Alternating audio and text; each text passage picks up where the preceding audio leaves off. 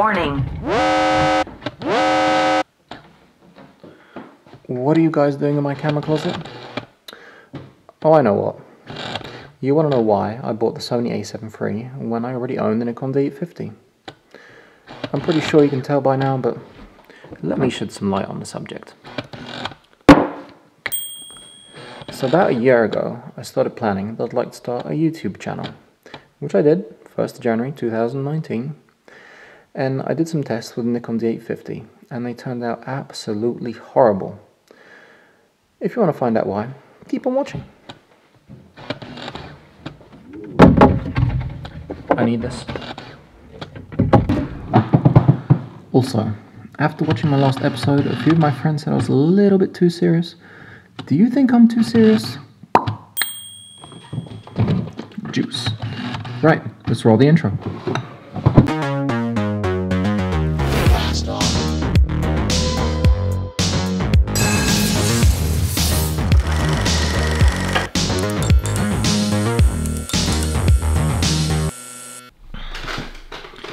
Okay, so now I've switched over to the Sony a7 III.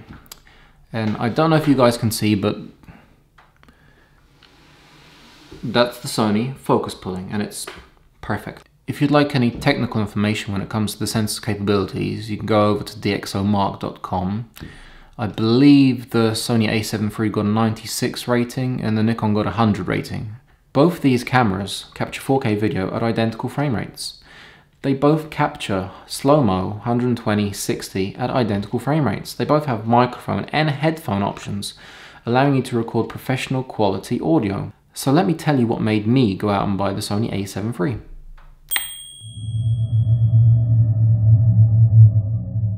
Both these cameras take great photos. They've both got jaw-dropping, I mean like autofocus when it comes to photography. However, the Sony does win because it has awesome, and I mean awesome, low light capabilities, and it's got the color profiles. Now, if I were to go on a trip, say I'm flying to Los Angeles, I'm flying to London, and I would choose only one camera, it would be the Sony a7 III. The video is absolutely incredible, especially with the autofocus. The face detection is absolutely perfect. It doesn't Oh, it's just painful to think about. It doesn't step focus like the Nikon. It's just smooth as you can see. I can just go in, I can go out and it, just checking. And it really works well. For photography, it's got something called eye autofocus where it locks in on one of the eyes of your subjects and it follows them around just by the eye. So it's always in focus. I've found it to work really, really well. I know Canon is regarded better for autofocus capabilities, except for low light where Sony wins. And I really wanted to buy myself a mirrorless camera, however the EOS R just didn't cut it. Comparing them, the Sony has like 693 focus points all around, whereas the Nikon has 153, that's quite a huge difference. Nikon uses off-sensor phase detection, whereas Sony uses on-sensor phase detection and contrast detection, which makes it the boss. I'm talking about photography though, the Nikon D850 is absolutely incredible. Its autofocus in photography is always spot on. I have like 99.9% .9 of my photos always in focus.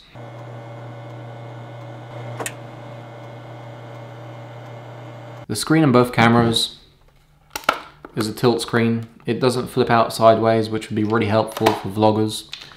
Now the Nikon has just over 2 million pixels in its screen, whereas the Sony has about 900,000, so that's quite a difference when it comes to resolution on the screen. However, I don't really notice a difference. What these do is help you take full advantage of the sensor's dynamic range, allowing you to film in a flat profile, which in turn gives you a lot more flexibility in post-production to manipulate things like shadows, highlights, and colors. Nikon has something called a flat profile, and it really isn't flat. It's about as flat as Mammoth Mountain. if you've been to Mammoth Mountain, you know it's not flat.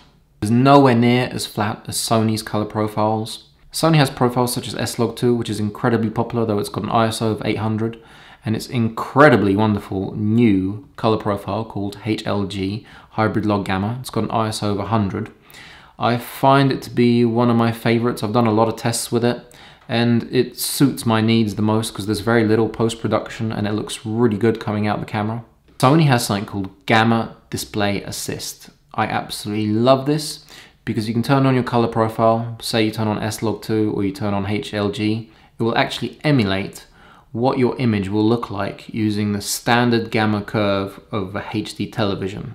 It still records your chosen color profile, but with it turned on, it allows you to concentrate much more on what you're filming because you haven't got this flat image, but you've got this punchy image that is more or less what you'd have when you finish post-production.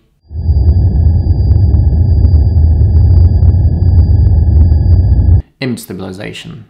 The Sony has five axis image stabilization and also most of its lenses have image stabilization which means it's really really smooth especially when you're filming. Whereas the Nikon no image stabilization in body. Weight.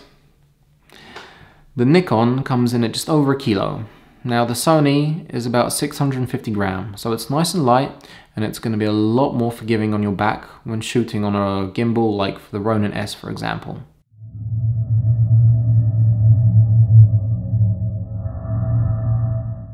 B-roll. They both have really awesome 120 frames per second slow motion. Now the Nikon face detection, there's no point even mentioning it because it doesn't work. Whereas the Sony, when it goes to slow-mo, it turns off the face detection, but it still has autofocus, which works really well. Sony does have an S&Q mode. However, if you do use the S&Q mode, your bitrate will drop from 100 megabits all the way down to about 12, 16, which means you lose out on a lot of information that you can keep. I recommend flipping the dial over to one or two, creating your own profile, making sure that you have slow-mo, filming at 100 bit rate so you retain all that information later on for post-production.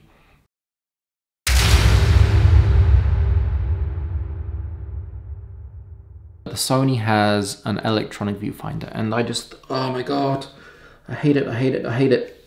It's absolutely just, it, it, I can't stand it. I cringe every time I have to take a photo, especially if there's like a fast moving object. So say I've got a model and I've got to follow her around. It, it just doesn't keep up with where I'm going.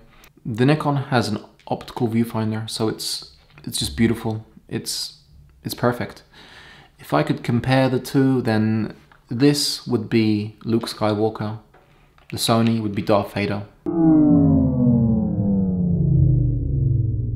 Crop mode. So what crop mode essentially does, it gives you a 1.5 times zoom without any real loss in quality. Nikon has it, Sony has it, and it's extremely useful.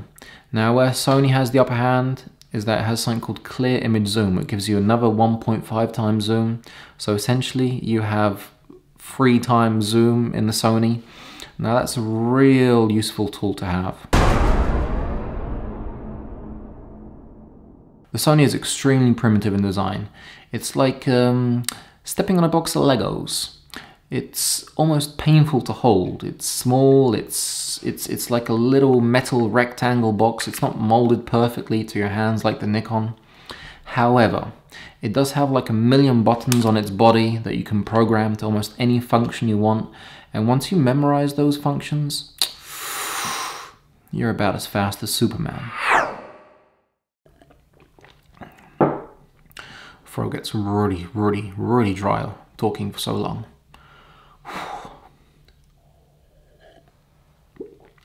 Juice. Photography. So the Nikon D850 is primarily a studio landscape camera and it's absolutely wonderful when it comes to photography. Just, mm, I love this thing. You could say I should have gone and bought the Sony a7 3R A, A3 set, you know what I mean. But the electronic viewfinder, just it's just it's so that's about it when it comes to why I bought the Sony a7 III when I already own the Nikon D850. Remember, if you like my video, give it a thumbs up. If you are subscribed, make sure you ring that bell. And we'll see you in the next video.